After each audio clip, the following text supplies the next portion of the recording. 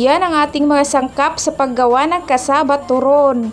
2 cups of 2 cups of kasaba and then toasted peanut, 3 4 cups of condensed milk, 1 tablespoon of margarine, and then 2 tablespoon brown sugar, 1 half cup of coconut milk, at syempre yung ating lumpia wrapper mamaya, babalutin natin to pag naluto na to.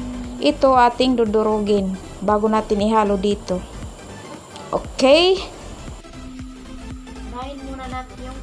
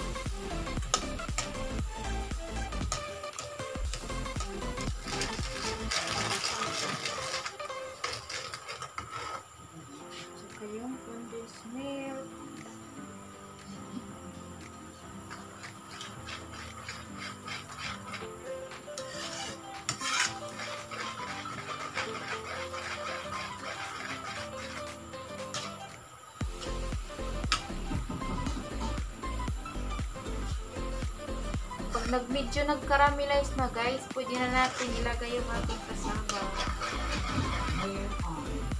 Yan. Sticky na siya. Medyo sticky.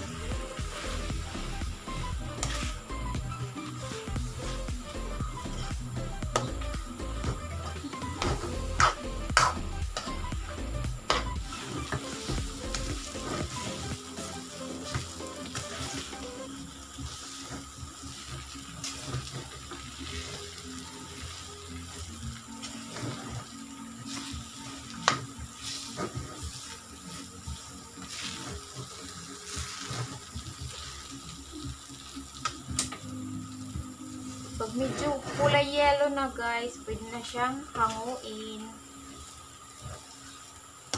Kasi mamaya lulutuin pa naman siya. Ganito siya. Smash lang natin. Ayan.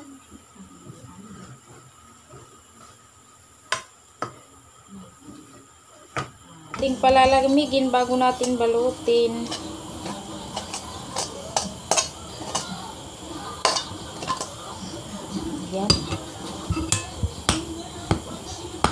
Will set aside this. Ganito na yung saktong kulay bago natin balutin ng lumpia wrapper. Tapos mamaya lalagyan natin ng peanut.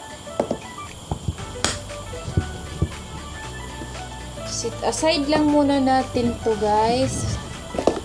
Ito na ang ating nilagyan ng ating mga sangkap kanina. Mamaya pa to.